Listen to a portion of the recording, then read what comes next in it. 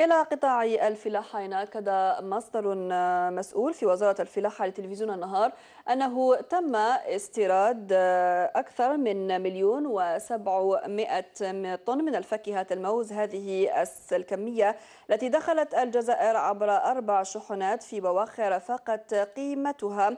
الإجمالية 16 مليون دولار رخص استيراد هذه المواد التي